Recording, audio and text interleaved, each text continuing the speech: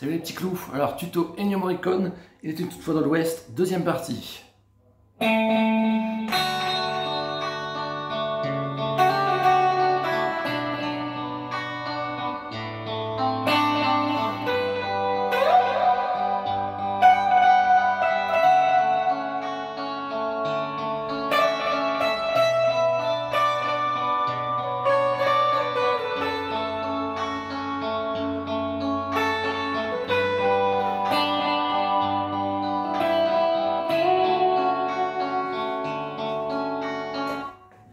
Alors c'est parti pour le solo de début.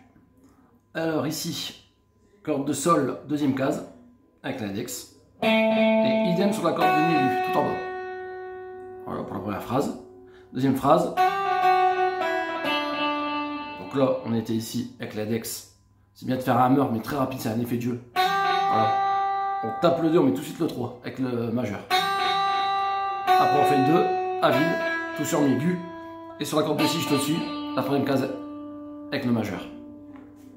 Alors la suite, on regratte troisième case sur la corde de si.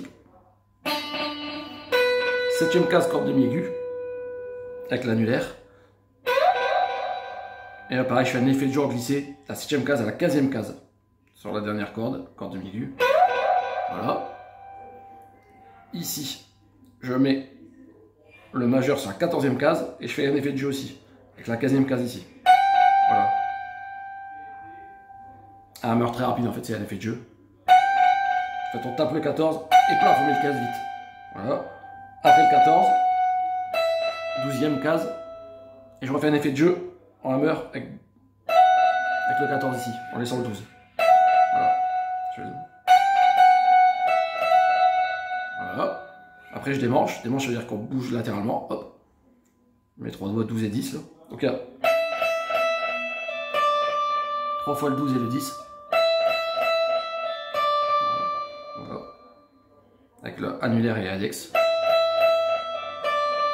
On peut même mettre, laisser l'index au début, faire un effet de jeu aussi. Hein. Voilà. La suite, tout sur la dernière corde, on met le 9 ici avec l'index. 9, 10 avec le majeur.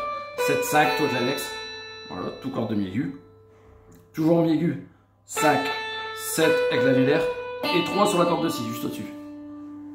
Et avec l'annulaire, cinquième case et effet de jeu en septième case avec le même doigt.